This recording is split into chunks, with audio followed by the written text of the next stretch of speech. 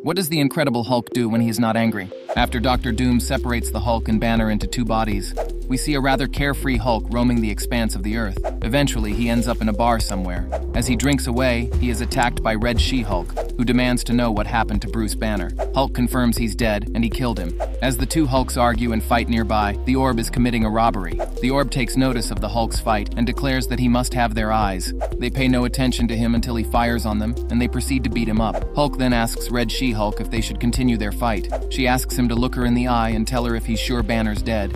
He may be dead dead physically, but what about mentally? Then they kiss and proceed to have sex to the horror of the orb. Two hours later, as the Hulk enters a calm state, he transforms into Bruce Banner, who is glad to see that he's back. Also, subscribe if you'd smash She Hulk.